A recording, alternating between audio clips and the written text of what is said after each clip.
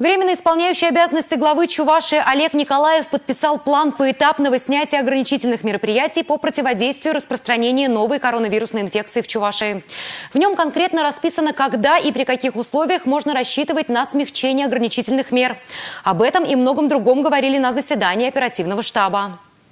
Если в некоторых районах ситуация стабильная, как, например, в Красноармейском и Канашском районах, то в других более чем тревожная. Так Ядрин, Батрево и ряд других муниципалитетов остаются в красной зоне уже продолжительное время. Значит, делает вывод Олег Николаев, профилактическая работа здесь ведется. Недостаточно. Нарушителей надо жестко наказывать. Беспокойство вызывает результаты мониторинга торговых центров и предприятий республики. Оказалось, что некоторых из них боролись с вирусом только на бумаге. То есть работа велась формально. И цифры это подтверждают подтверждают. В Чувашской республике заболевание коронавирусной инфекцией составляет 164,6%.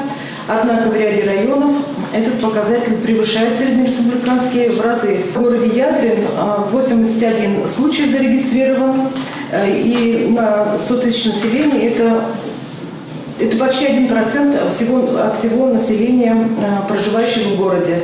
Чтобы стабилизировать обстановку, по поручению в Рио главы региона в республике создадут специальные опергруппы, которые будут обучать и помогать руководителям в борьбе с пандемией. Все в наших руках. И насколько мы с вами эффективно сейчас в эти дни поработаем, настолько мы быстрее выйдем из этой тяжелой ситуации.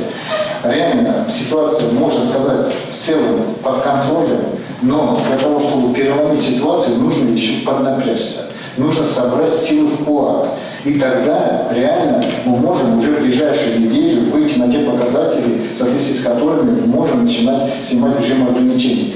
Дополнительные страховые гарантии медработникам утвердил президент России. Речь идет о компенсациях медикам, которые заразились COVID-19 во время исполнения своих трудовых обязанностей. Оснований для задержек с выплатами нет. Все, кому положено, получат их в срок, отметил Олег Николаев. Наталья Мальчикова, Павел Иритков. Республика.